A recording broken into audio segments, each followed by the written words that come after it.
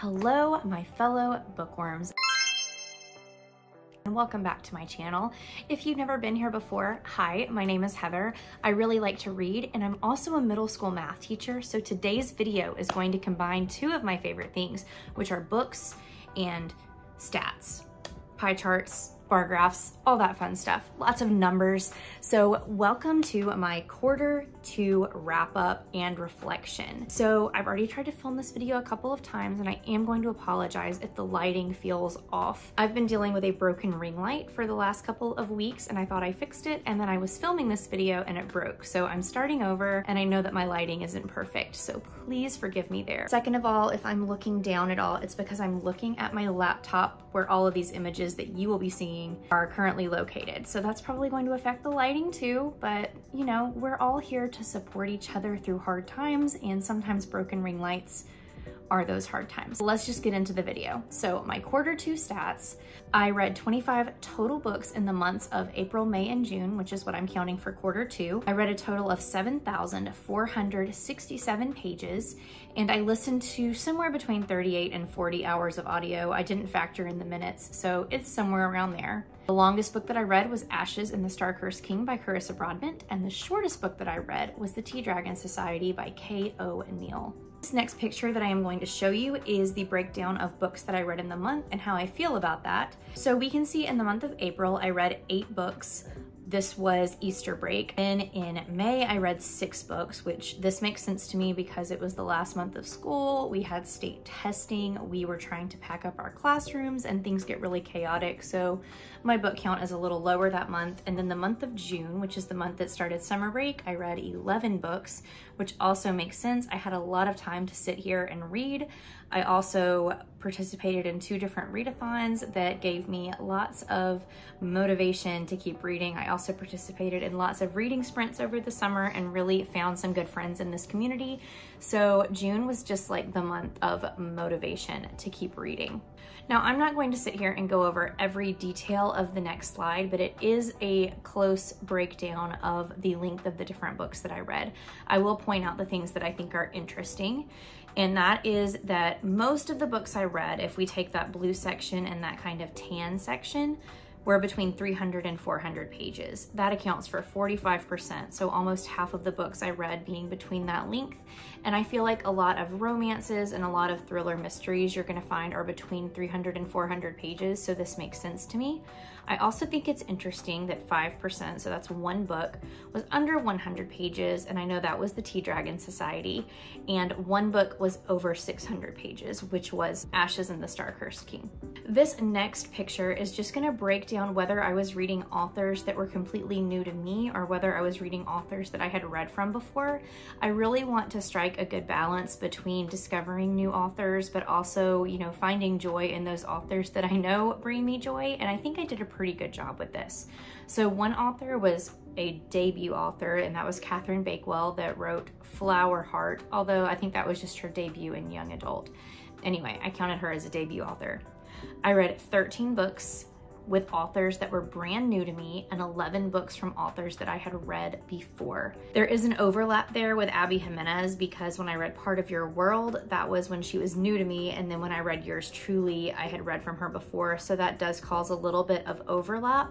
Same with Carissa Broadbent. She was new to me when I read Daughter of No Worlds, but then when I read the Crown of Nyaxia series, she was an author I had read from before. But I think that kind of evens itself all out in the mix. So like I said, I'm pretty happy with that. It's almost a 50-50 split of discovering new authors and reading authors that make me happy. This next picture is going to go over the different formats that I was reading in. Again, this doesn't really affect anything. It's just interesting to look at. So I read one graphic novel, and again, that was The Tea Dragon Society. I read five paperback books, seven audiobooks, eight hardback books, and four Kindle books is probably what a lot of people wanted to see is a genre breakdown. So I did break some of these genres down into very specific categories, um, especially in the realms of fantasy and romance. But I read different types of fantasy and romance, so I just wanted to see. That was more for me than anything else, but let's go. We can see that I read one urban fantasy, one memoir, four fantasy romance, four fantasy, three mystery thriller, one epic fantasy, one young adult, three contemporary or literary fiction, and seven romance. Now we can combine some of those in weird ways. For example, if we wanted to combine fantasy, romance, and romance, that would have been 11 books. Or if we wanted to combine a fantasy and fantasy romance and urban fantasy and epic fantasy, that would have been 10 books. So there's different ways that we could combine this, but this totally makes sense as far as my reading preference goes. Now we have my rating breakdown. I gave no books one star in this quarter, and I actually haven't given a book one star the entire year. I hope it can stay that way. I did have two two star books, and I will show you all of the books in every single rating category later. I had five three star books, nine four star books, seven five star books, and two books that I didn't give a rating to or that I DNF'd. And I had an average rating of 4.13. Something I do want to note about this bar graph is I give half star and quarter star ratings when I use StoryGraph. And so if it says three star, that's anything that's between a three star and a 3.75. But now let's get into what you probably really want to see, and that's where I put all of the books when I ranked them. So we're going to start high and then end low. So for my five star books, we had A Man Called Ove, Heir of Fire, Tomorrow and Tomorrow and Tomorrow, Ashes and the Star-Cursed King, Yours Truly, Part of Your World, and Daughter of No Worlds. Y'all can see from this that I really was having a time with Carissa Broadbent and Abby Jimenez because they just know how to write books that I want to read. My four star books are Swamp Story, The Last Word, Tress of the Emerald Sea, Serpent and the Wings of Night, Happy Place, The Tea Dragon Society, Fourth Wing, and What Lies Between Us.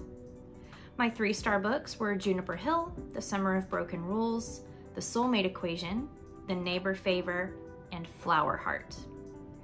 My two star books were Further to Fall, this is by Catherine Cowles, it might be hard to see her name, and I don't need to say much about this if you've been around my channel for a while, Shady Hollow. And then two books that I didn't give a rating were Finding Me by Viola Davis. This is a memoir, and despite the fact that I absolutely loved this book, like loved it, I just don't give memoirs ratings because this is somebody's personal life and it feels icky to put a rating on somebody's personal life and what they've been through. And then also Wayward, I didn't mean to DNF this book, but I did DNF this book. I just put it down and never finished it. So oops. So those two books do not have a rating. Overall reflections are, I think that I'm having the best reading year I've ever had since I was a kid and would read like probably a hundred books in a year. I would get a book and read it in a day, but I also didn't have the distraction of my phone. So that's something I really want to work on for the rest of the year is just not picking up my phone when I read. And that's kind of hard because I vlog on my phone, but I really need to set limits of, yes, I can have my phone when I read, but it is only for video purposes. I just, the, the older I get, the more distracted I find that I get, and that's not cool. I don't want to be that way. I would really like to finish the year out strong. My reading goal for the year was 52 books, which is more than I've ever read in a year in my adult life, and I'm already at 49 books, probably gonna finish another one tonight.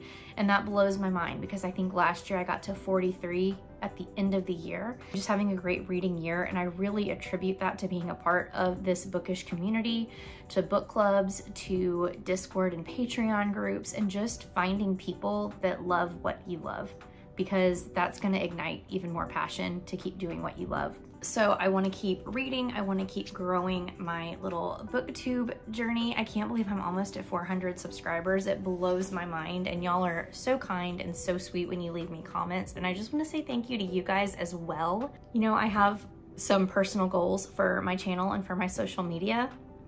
And I feel like that's another video for another time.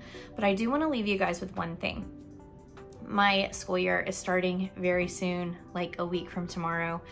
And that is going to kind of alter my posting schedule and my content just a little bit.